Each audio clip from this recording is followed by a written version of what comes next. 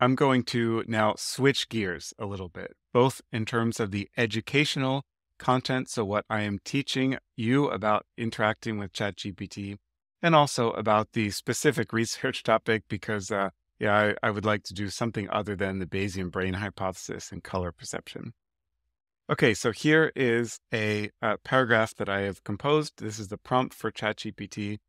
I'm starting a new research project on criticality in the brain during anesthesia in patients undergoing surgery. So now I describe a little bit about the experiment design and I state uh, that I have hypotheses. So my hypothesis is that the Hurst exponent as measured through this particular analysis method will decrease por- towards 0.5 at the uh, deepest depth of anesthesia and so on.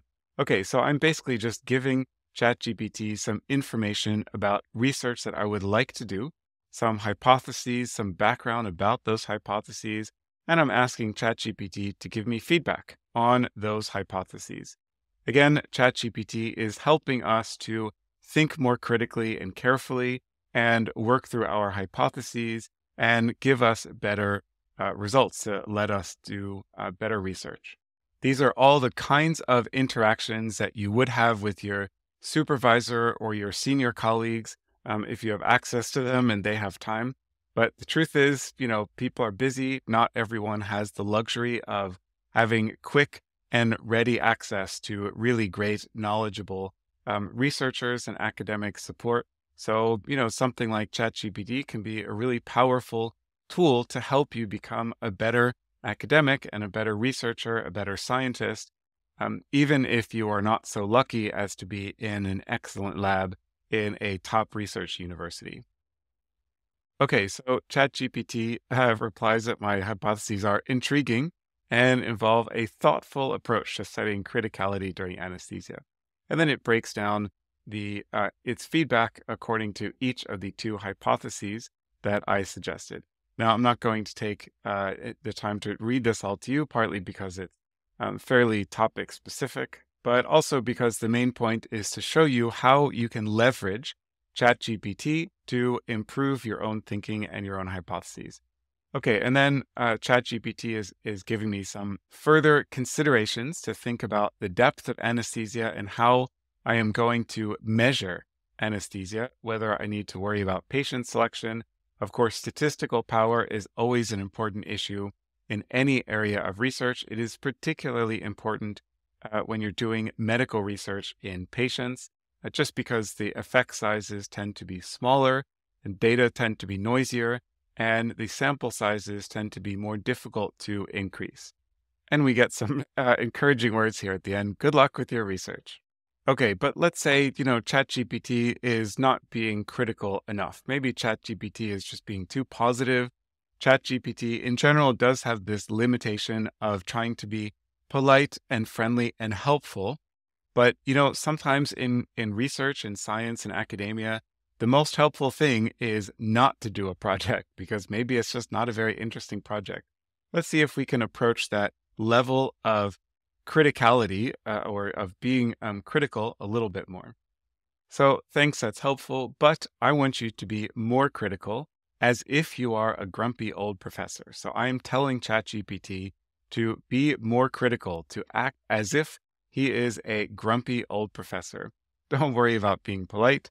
Is this study worth my time? Is it likely to make a significant contribution to literature and so on? Is it good science or just a hobby project that no one would care about? This is a really important question.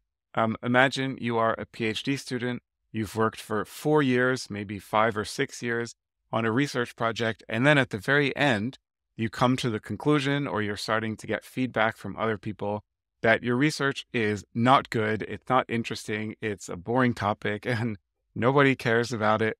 And now you feel like, hey, I just spent five years of my life doing research on this topic. Couldn't someone have told me in the beginning that this wasn't an interesting research project? This is something that a human would be able to tell you but ChatGPT is not necessarily going to tell you that. It's too polite to say that. Okay, so that is my motivation for trying to ask ChatGPT to be a little bit more critical. So let's get into the nitty gritty with no sugarcoating. This is a really great response. I'm going to scroll through this slowly. I'm not going to read this all to you, but I'm going to scroll through this answer slowly so that if you would like to pause the video to read this response on your own, then uh, you will have the opportunity to do this. Okay, I would like to point out a few things. First of all, notice that the tone of ChatGPT's writing has changed quite a bit. He says here, uh, Are you prepared for this level of technical complexity? Pointing out that these analyses that I'm proposing are not so easy. Um, they're highly sensitive to the quality of the data. And here we say uh, that, so my hypothesis is a bit safe, shall we say. So here, ChatGPT is even being a little bit snarky. Um, so finding that the Hurst exponential uh, exponent decreases isn't exactly groundbreaking. It's an incremental addition to the field at best. This is starting to be a little bit more honest. Um, okay, so here with regards to the second hypothesis, I've given no theoretical or empirical rationale for why this might be the case. This is good feedback. Now, in fairness, it is possible that uh, I would give, uh, let me see, go back to this. So, you know, presumably, if I have uh, really thought about this research, this really is something I want to do. I've thought about this more. I have more written, more um, thoughts in my head, more justifications for making these hypotheses, but I haven't told ChatGPT about that. So, this particular comment may or may not be uh, relevant, but it's certainly a good one to make. This is also a little bit snarky. EEG during anesthesia in surgical patients I hope you're prepared for a lot of variability. That is true. Uh, these are all uh, good points and uh, could be confounding variables unless we um, control for them uh, or at least select uh, data very carefully. Now, one other thing that I would have added as a human if someone approached me with a question like this is try to find existing data that's already published instead of collecting new data. That is not a um, piece of feedback that ChatGPT gave me here. Okay, so roll up your sleeves and get ready to dive deep because this won't be a walk in the park. Here is a follow up prompt to ChatGPT, so I really appreciate your feedback.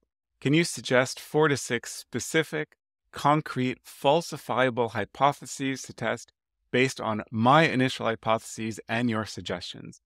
So now I'm asking ChatGPT to help brainstorm and give me some ideas that are based on the collaboration between my initial thoughts and ChatGPT's feedback, which was initially uh, a little bit too positive and light, and then uh, a little bit more critical.